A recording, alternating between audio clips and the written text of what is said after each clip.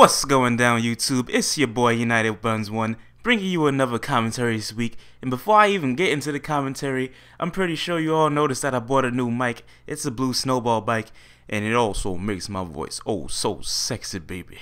Just listen to that quality. Listen to it. Oh my god, I sound like a radio host. This is Power 105. Now let me stop.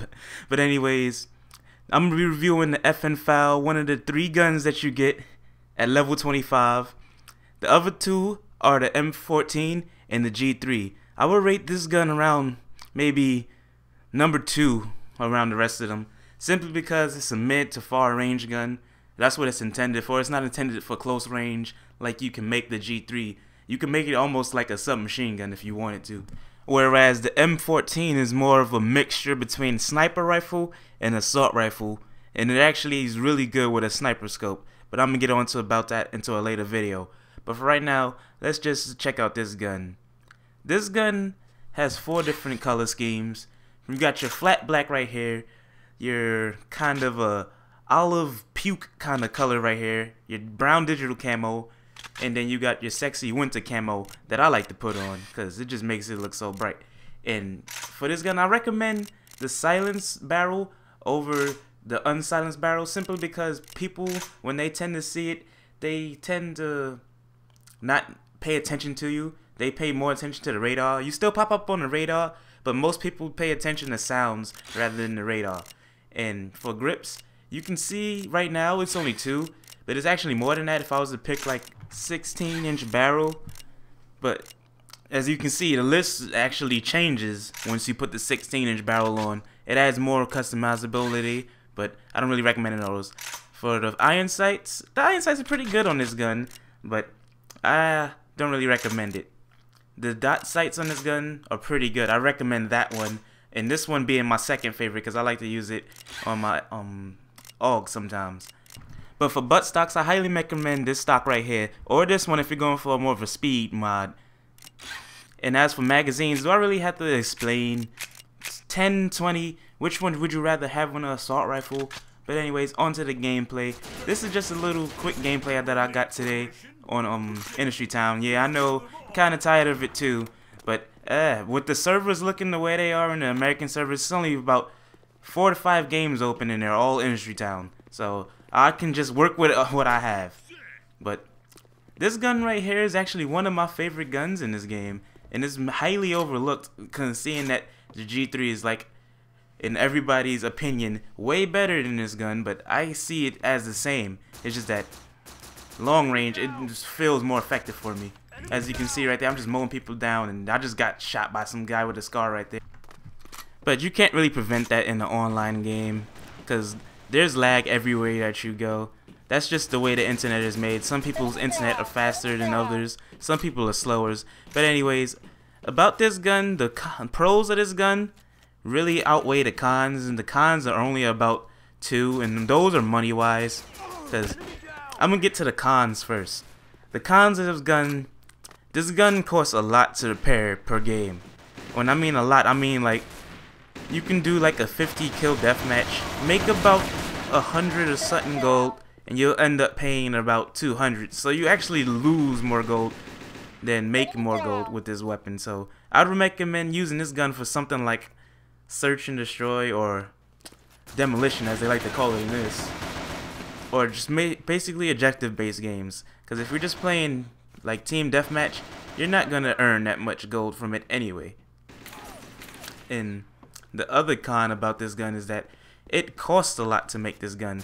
Now I know people at level 25, you might have been saving up and you might not know which one that you want to actually buy between the G3 and the M14 and this but this I would like put it number two. Simply because the G3 is actually very like cheap. Around like 16,000 gold. This gun can run you around a good 25,000 to 30,000 and the M14 is just like an arm and a leg in this game. It's about 35,000 gold. And just, if you wanted to build the sniper one, the sniper build, just the scope alone costs 10 G's. Now that's a lot.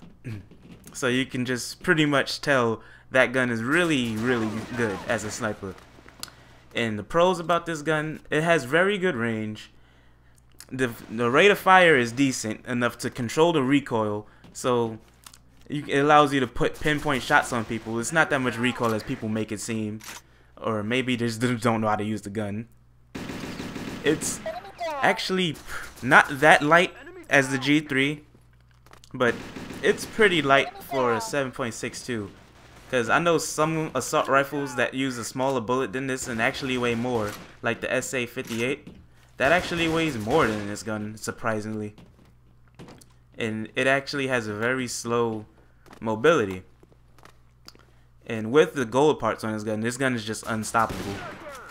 But anyways, I just wanted to let all you new subscribers know that probably you didn't know already. I'm working on a montage and like thanks to you guys that getting me at 250 so quick. I'm actually was behind with my clips. I didn't I can't really get any clips cuz if I do, it's all going to be on Industry Town. I don't know if you guys are actually like that or not, because I do have some clips on other maps, but they're not up to my standards. Like, I like a lot of sniper clips, and with but with the server like this, with only like five rooms up, and they're mostly playing Industry Town and Death Square, it's actually pretty hard to get good clips. So, let me know if y'all would like to actually see the montage, because I was still, I was thinking about just giving up on it altogether, but I don't really know. Like that clip right there, I was going to actually use this in my montage, but I decided to give it to you guys as a little commentary about this gun because my old commentary well I didn't even it's not even a commentary it's a gameplay my old gameplay about this game uh, about this gun it got about 5,000 views but it got a lot of hate on it just because it was on a map and it was kind of dark and like they accused me of being a hacker and that and like during the gameplay I had a name change on and it was like I forgot what it was called. I think it was Waka Flocka. LOL at that. But yeah, that's when he first came out with Hard in the Paint. And I was like, nobody else has a name. Might as well use it. And like, people were accusing me of hacking. I'm not a hacker. I never needed hacks. Don't want hacks. Never needed hacks. But that's just me. I'm an average player. I'm not the greatest. And also a few things before this video comes to an end. I also forgot to mention that this is the same FAL as the one in Black Ops 2 and I don't know if you new subscribers know but pretty sure that some of you guys know that I played Black Ops 2 and if you want to see a gameplay of that of me using the FAL with almost the same setup leave a comment down below. I'll see if I can do that for you.